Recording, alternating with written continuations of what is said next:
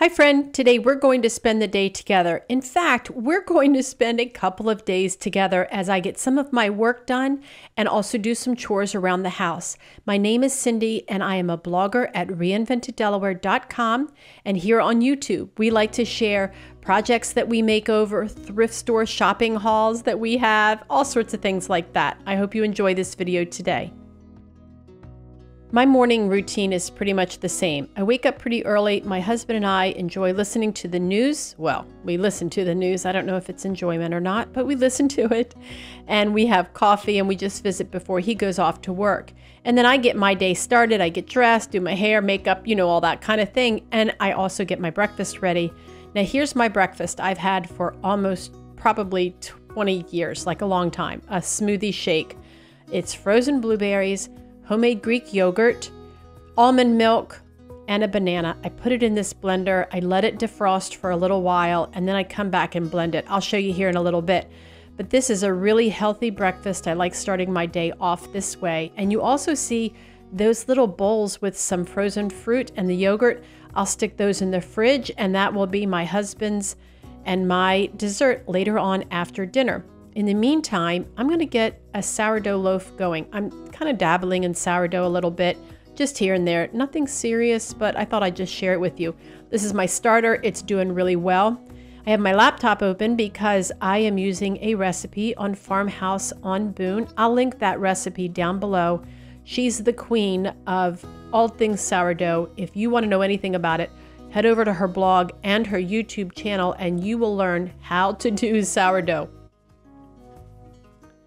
I'm just kind of getting introduced to it over the last couple of years. And like I said, I, I don't make a lot, but I make a little bit, and it's just fun to make.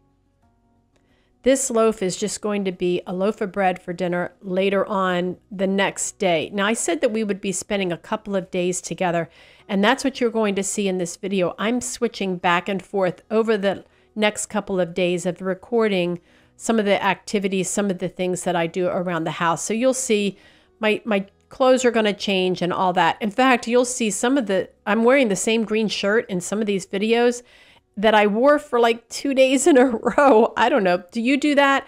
I don't wash my shirts or pants every single day. Is that weird? I, I don't know.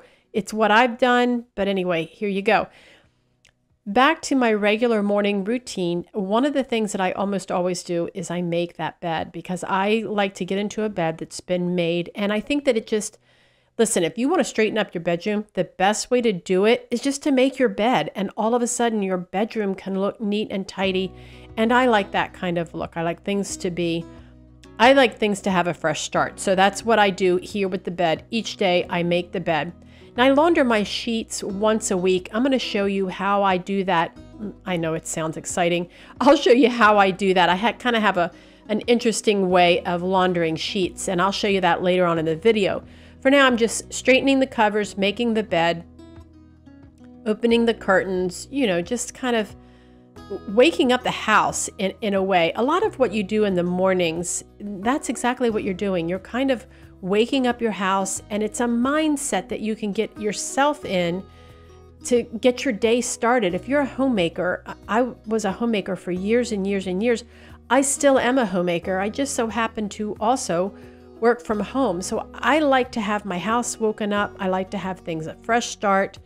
And making the bed is one of those things. Now, this spray that you see, I've had that same spray bottle for 10 years or more, but I keep changing the solution. The solution is simple it's water and some essential oils or fragrance oils, whatever I ha have on hand, and then a little splash of rubbing alcohol. I feel like it's killing the germs on the pillows, especially.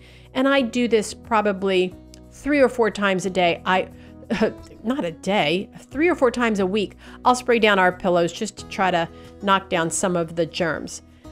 Now, another thing that I do on a regular basis is laundry. Like we all do that. Now, these are some things that I found recently while I was at the Goodwill bins. You might have seen that video. I went with a couple of my sisters. I'll link that video up in the cards here. Um, you'll be able to see that video where I bought these rugs and I bought that really pretty shower curtain and they just need to be laundered, so I throw them in. Okay, this is a different day. You see, I have on the same pants, a different shirt. Who knows what day it is, but at some point in this week, I'm working on a blog post project and I reinvented this wreath that's been on our door. I've made it over for, uh, let's see, for fall, for winter, and now I'm making it over for spring. You can see here that I'm, I'm getting some paint and some other supplies out. And then you can also see my camera off to the left. That is the camera that I use to photograph my blog projects. Now, I will link this particular blog post down in the description so you can go check out the full tutorial.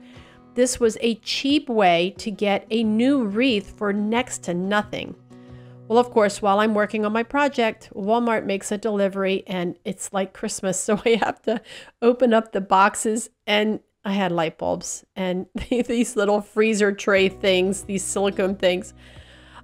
I don't know. The little things in life make me happy. So I thought I would just share my my Walmart delivery for the day.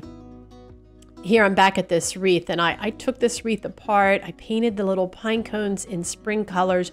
You'll see it all over on that blog post. It really turned out cute and I want you to see it. So be sure to check that link down in the description.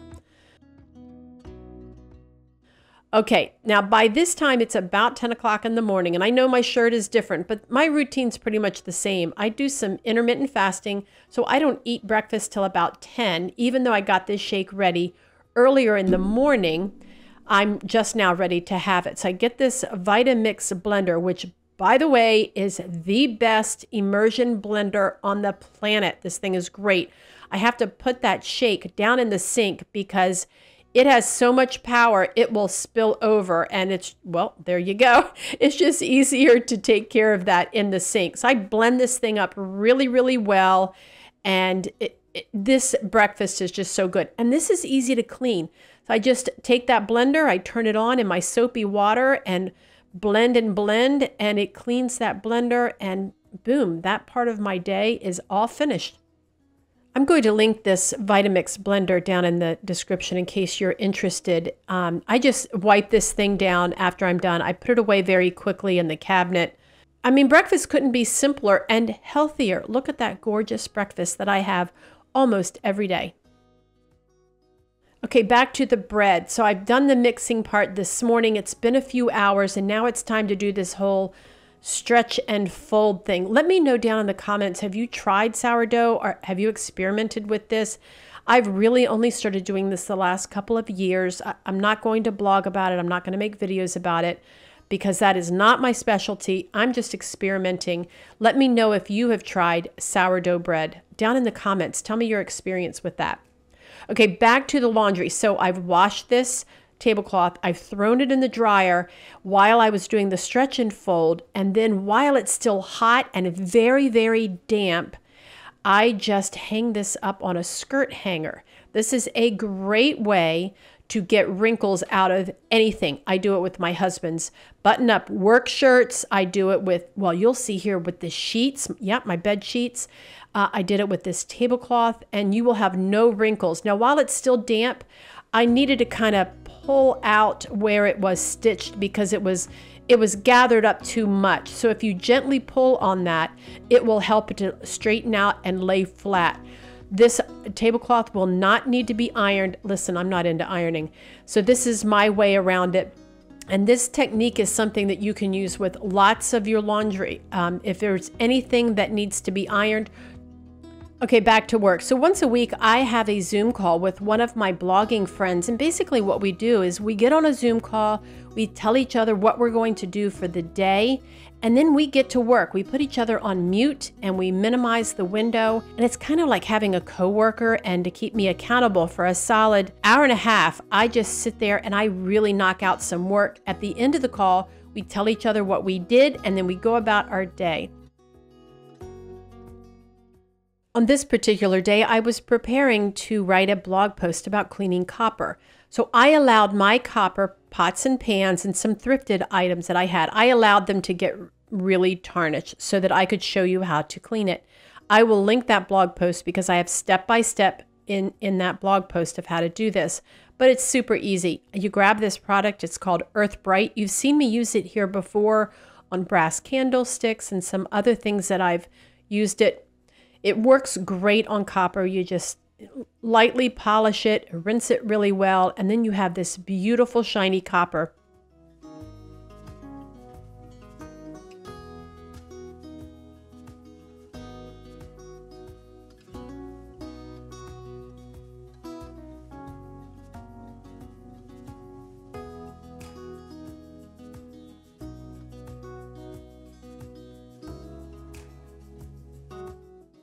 And then I also clean the inside of the copper. So copper is lined in tin and you need to remove that carefully. And a folded piece of foil and some baking soda in boiling water for about 45 or 60 minutes will loosen a lot of that. I have more details about that over in the blog, so I want you to be sure to check that.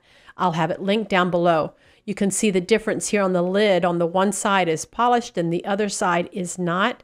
So if you want to polish copper, this EarthBrite is the product to use.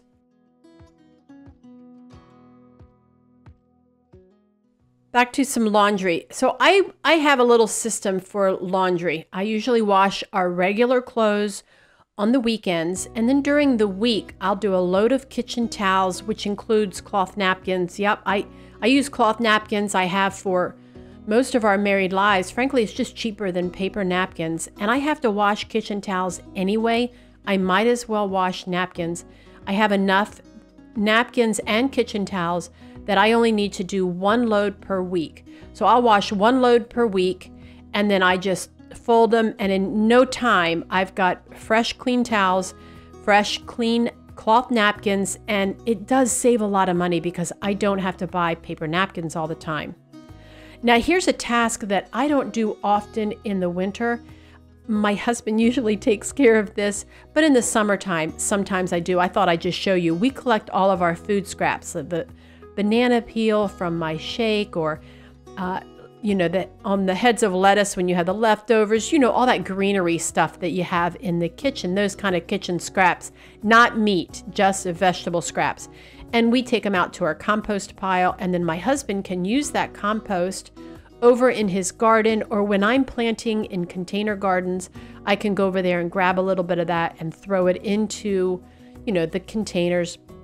And we like to use those coffee uh, containers, those really large coffee containers, to hold all the scraps till we're ready to get rid of them. Not the prettiest thing to set on the counter, but that's what we do. My little dog likes to watch every move I make. He is right there, little Barkley. Here's the finished wreath that I made over. Don't forget, I'm going to have this blog post linked down below so you can check out the step by step. And I'll also share a pretty image of the finished wreath on our front door. We're at a different day now, and it is sheet washing day. So I've already stripped all the sheets off of the bed and I've run them through the washer. Now, this fitted sheet is completely dry. And what I do is I throw just the fitted sheet into the dryer and I let it totally dry. Then I come and I put it on the bed. While it's on the bed, I've already tossed in that flat sheet into the dryer and I put it on hot and I let it get really hot but not dry. In fact, it's very, very damp. It's only in the dryer for not even five minutes.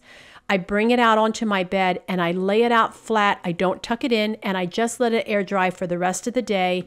And this will make the sheets perfectly flat. I mean, they look so good. It looks as though you've ironed them and you haven't. And believe me, I am not going to iron sheets. I'm back to this bread. Can you tell that my regular work day is much like I work on projects? I switch from one thing to the next, to the next, to the next. That is just how my brain works. Let me know, do you do the same? While one thing is working in the kitchen, like this bread is rising, I'm doing laundry. While the laundry's in the dryer, I'm doing something else. I mean, it's just constant, isn't it? This bread is easy to make. Don't forget, I'm going to link that this particular recipe down in the description. If you want to get started with sourdough, this is the one to start with.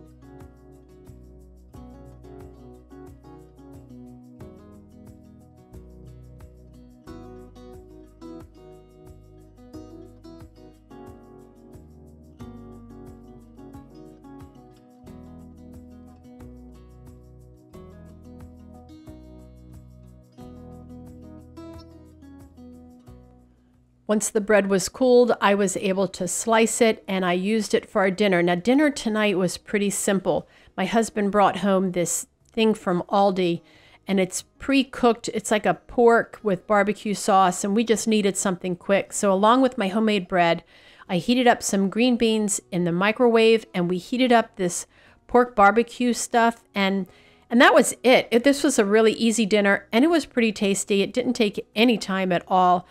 In fact, I even bought one of these and I have it in the freezer just in case I have one of these nights that I just didn't get around to cooking dinner. Now, later that night is when all the sheets are dry and the pillowcases.